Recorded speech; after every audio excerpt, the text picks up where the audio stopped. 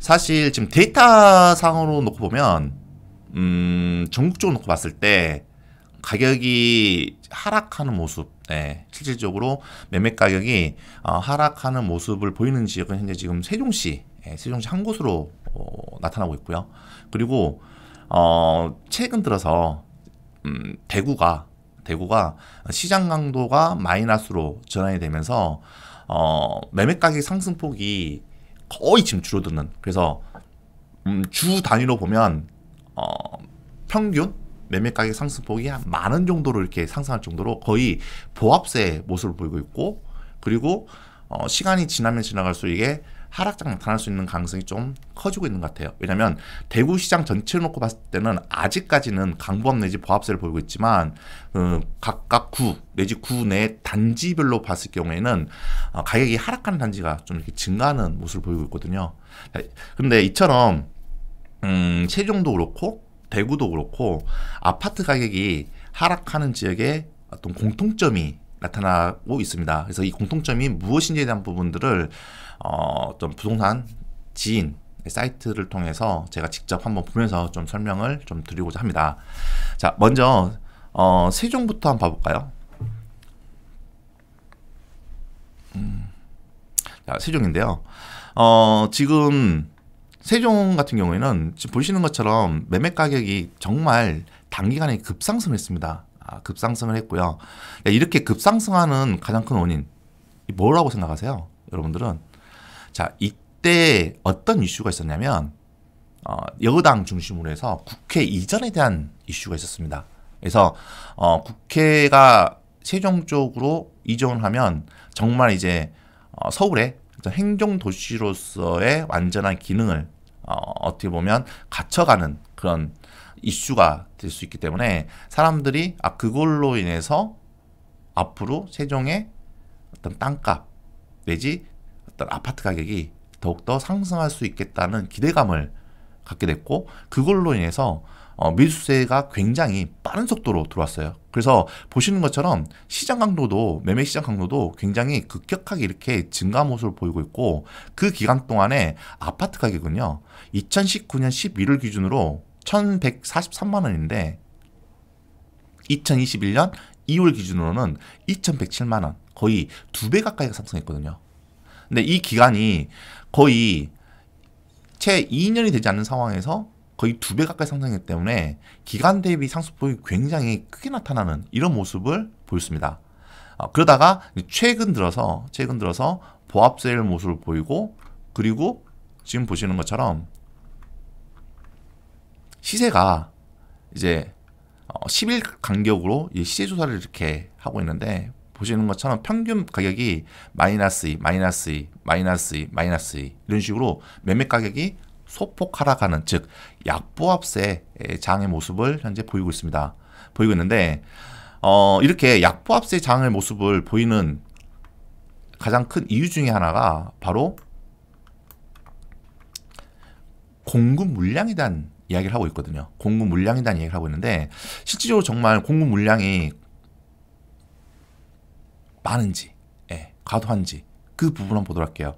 자, 올해만 하더라도요, 사실 고공급 물량이 9,168, 9,168세대가 공급됐거든요. 근데 세종시의 연별 수요량은 1,864예요. 결과적으로 연별 수용량 대비해서 굉장히 많은 어, 굉장히 많은 공급 물량이 들어왔습니다. 들어왔는데 어, 이게 들어옴으로 인해서 가격이 이렇게 하락했냐 이것만 볼 필요가 이것만 봐서는 안 되고 사실상 과거에 공급량이 들어왔을 때 그때는 가격 상승폭이 거의 없다가 실질적인 뭐가 늘었어요 매매 거래량 자체가 늘었죠 예. 거래량 자체가 늘고 즉 수요는 증가하는과 동시에 공급은 이렇게 없다 보니까 그 기간 동안의 상승폭을 이렇게 키워온 거였고 여기에 호재가 불수식 역할을 하게 된 상황이 돼버린 거죠 어. 그런데 지금 최고점 2019년 11월 거래량이 터진 이후에 그 이후부터 거래량이 우하향하는 모습을 보이고 있습니다. 그리고 2021년 10월 기준으로 본다고 했을 경우에는 매매 월 평균 거래량에 비해서도 매매 거래량이 거의 반토막 수준으로 현재 지금 떨어져 있는 상황이고 이런 매수 어떤 이런 거래 절벽 현상이 지금까지도 계속해서 나타나고 있는 상황이에요. 자, 그런데 앞으로의 내년 같은 경우에도 사실 어, 연별 수요량에 비해서 연별 입주량이 더 많은 상황이고 내후년 정도야 정도에 가서야 어, 연별 입주량이 연별 수요량에 비해서 낮아지는 그래서 공급 물량이 감소하는 이런 모습을 보이, 이런 모습을 어, 보일 것으로 예상을 하고 있는데 지금 현재 상황이 시중 같은 경우에도 6억대에서 15억대 사이에 매물이 굉장히 많이 이렇게 포진돼 있거든요. 많이 이제 있고 그래서 대출 대한 부분이 어떻게 보면 직격탄을 받고 있는 지역과 동시에 이적 같은 경우에는 매가가 상승을 했고 전세가도 상승했지만 매가 상승폭이 워낙 크다 보니까 전세가율이 굉장히 낮은 지역이에요. 즉 소위 말해서 매매가 전세가의 갭 차이가 너무 많이 나다 보니까 어, 대출을 통해서 매수를 할 수 있는 아니면 갭 투자를 통해서 매수를 할 수 있는 어, 이러한 상황이 점점 과거에 비해서 쉽지 않는 상황이 되고 있는 거죠. 어, 이런 식으로 매수세는 감소하고 있는 즉 거래 절벽 현상이 나타나고 있는 상황에서 공급 물량이 예, 공급 물량이 내년까지 이어지기 때문에 지금 현재 하락장의 모습에 대한 부분에서는 물론 단기간에 급등했기 때문에 일시적인 조정 현상의 가능성도 저는 분명히 있다고 보여집니다. 그렇지만 앞으로 세종 같은 경우에는 특별한 이슈가 없, 없, 어, 없는 이상은 이쪽으로 인구수가 추가적으로 유입되는 유입되는데 저는 분명히 한계가 있다 생각하고 있거든요. 왜 세종시는 행정도시지 기업도시가 아니기 때문에 그렇습니다.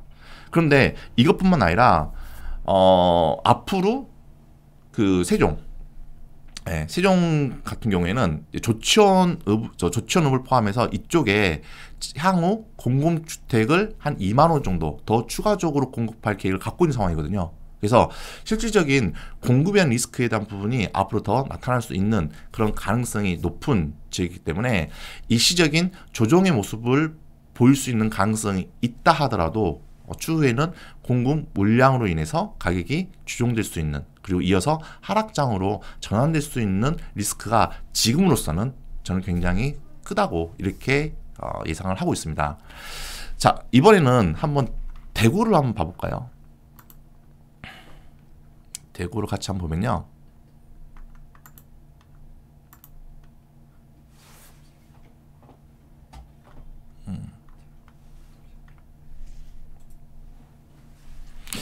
자, 대구 보이십니까? 예, 대구 보면 대구의 거래량, 수요량, 미분량 보도록 하겠습니다.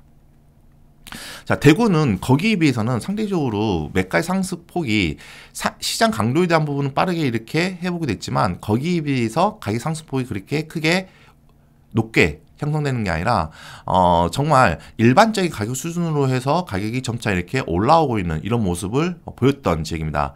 그런데 대구 지역 같은 경우에도 과거에 공급 물량과 그리고 시세의 비교를 놓고 봤을 경우에는 물량과 시세가 이렇게 비슷한 흐름이 보이고 있는 지역이었어요. 즉 공급 물량이 많았을 때는 가격이 떨어졌고 공급 물량이 이렇게 줄어들었을 때는 가격이 이렇게 회복되는 모습을 보여왔고요. 그 다음에 공급 물량이 누적 공급 물량이 이렇게 극대화되면서 어, 추가적인 공급 물량이 들어올, 들어오는 이 상황에서는 가격이 이렇게 조정되는 이런 모습을 보였습니다. 보였는데 대구 역시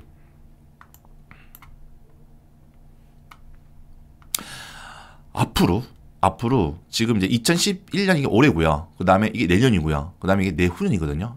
2023년. 그래서 어, 내년부터 내후년까지 입주 물량이 기간도 너무 많이 몰려 있고요. 누적 입주 물량도 굉장히 많이 높은 수치입니다. 그래서 연수율랑 대비해서 입주 물량이 거의 3배 가까이 수준이에요. 어. 그런데 과거의 대구 같은 경우에는 말씀드렸던 것처럼 시세와 공급 물량의 연동의 모습을 보였다 했잖아요. 근데 만약에 연동의 모습을 보이지 않기 위해서는 대구에 많은 인구수가 유입을 해야 돼요.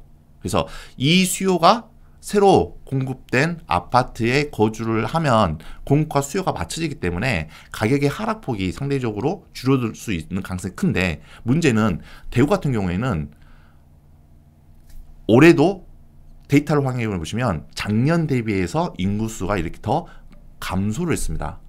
그래서 내년 같은 경우에도 감소를 하거나 아니면 유지될 수 있는 그럴 가능성이 저는 굉장히 크다 보고 있는데 결과적으로 인구수는 줄어드는 상황에서 공급 물량에 대한 부분에서는 계속해서 이렇게 증가를 하고 있고 또 더 중요한 거는 공급 물량이 들어오는 기간 예, 입주 물량 양도 중요하지만 기간이 2년 동안에 너무 많이 이렇게 몰려 있는 것도 가장 큰 리스크 중에 하나가 되지 않을까라는 생각을 했어요.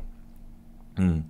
그래서 예전에 제가 어, 2주 전인가요? 그때 심사임당 그 TV에 나가가지고 어, 이제 사연에 대해서 어, 어떤 그 상담을 했, 어, 상담을 해드렸던 어떤 그런 코너가 있었어요. 근데 그때 대구 분이 지금 어, 집을 사도 되냐 이제 그러한 이유였는데 그러한 내용이었는데 제가 그때 어, 지금 현재 상황에서는 어, 수요 대비 공급 물량이 너무 많기 때문에 가격이 하락할 수 있는 가능성이 크다. 그래서 2023년 그리고 2024년까지 물량이 너무 많기 때문에 2024년 이후의 시장을 봐라. 즉 2024년 정도 됐을 때 그때 갈아타기를 하는 것이 어, 지금 바로 갈아타기 하는 것보다는 최선의 선택이 되지 않겠냐. 이렇게 조언을 해드린 적이 있었는데 어, 거기 나와 있는 댓글 중에 어, 지금 어, 제 방송을 듣고 어, 대구에 있는 그 부동산 카페에서 난리가 났다. 어?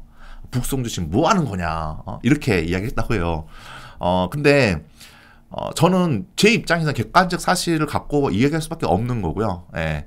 무조건 어디 지역에서 좋다, 무조건 사라 이렇게 말씀드릴 수 없습니다. 예. 왜냐하면 우리의 소중한 자산이 걸려 있는 문제이기 때문에 그래서 항상 객관적으로 우리가 판단하고 분석하고 그리고 거기에 따라서 저희가 행동하는 것이 굉장히 중요하다고 생각하고 있고 앞으로 제 방송은 뭐 그런 거에 어, 어떤 그 신경 쓰지 않고 예, 꿋꿋하게 예, 저의 기준 내지 저희 고집대로 이렇게 하도록 하겠습니다.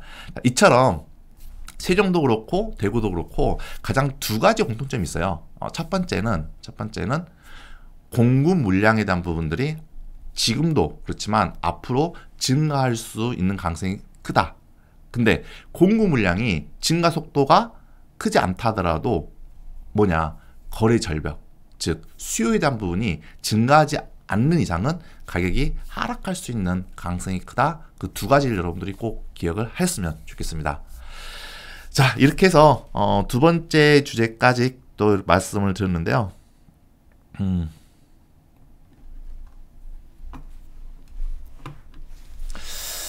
예, 어, 공급이 가장 아, 가격 안정의 정답이네요라고 했는데요.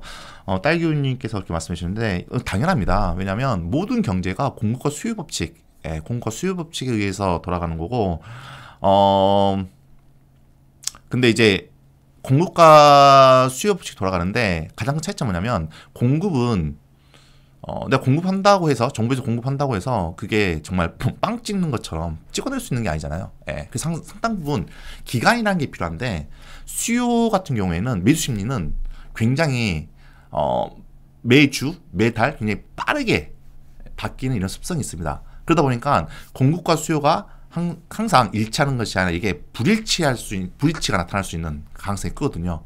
그래서 항상 이 불일치 때문에 가격이 상승하거나 내지 하락하거나 뭐 상승한다 하더라도 급등하거나 이런 모습을 어, 보인다라고 생각하시면 될 것 같아요. 그래서 어, 다른 어떤 요소들도 분명히 부동산 가격에 미치는 영향이 크지만 저는 제일 큰 부분이 공급과 수요고요. 그 다음이 거래량과 매수 심리에 대한 부분인 것 같아요. 그래서 그걸로 인해서 어, 지 어떤 그 여러분들이 관심 있는 지역에 앞으로 향후 부동산 시장의 방향에 대한 부분을 스스로 한번 전망해 보고 그리고 점검해 보고 또 모르는 거 있으면 또 부동산 멘토한테 또 물어보고 예. 이렇게 하면서 예측하는 연습을 많이 하시면 좋지 않을까라는 생각이 듭니다. 도움이 되셨나요? 그러면 구독하기와 좋아요 꼭 눌러주시기 바랍니다.